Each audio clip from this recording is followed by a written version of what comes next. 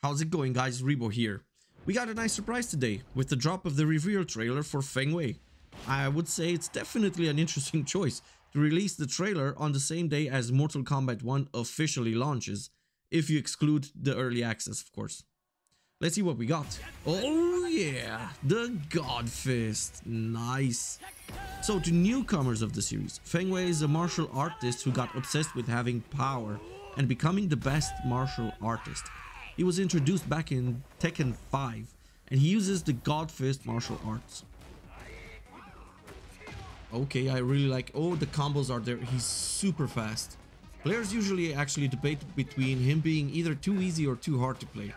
But generally, he falls under the type of character that can be easily picked up, but really hard to master. Oh, we have some rivalry with Leroy. Okay.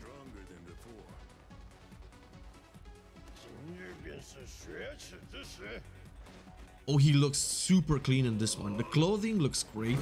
And he's beefed up to 11. As most of the other characters, he looks super fast in executing his moves. Okay.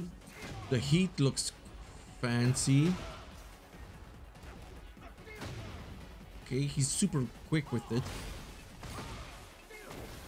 Oh, and those heavy attacks, man, that's out of this world.